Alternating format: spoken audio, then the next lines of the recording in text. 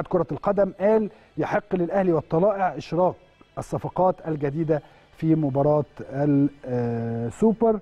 خلاص أصبح هذا الأمر أمر رسمي وواقعي آخر خبرين عندي الأهلي بيحتفل بلقب السوبر ال11 في تاريخه قبل مواجهة طلائع الجيش. صفحة رسمية للنادي الأهلي عبر موقع التواصل الاجتماعي فيسبوك احتفلت بتتويج المارد الأحمر بالسوبر للمرة ال11 في تاريخه حيث نشرت فيديو معلقة عليه.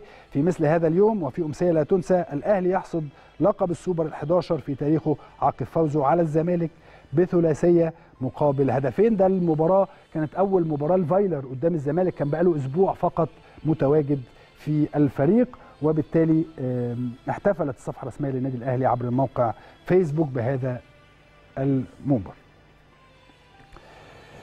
طيب.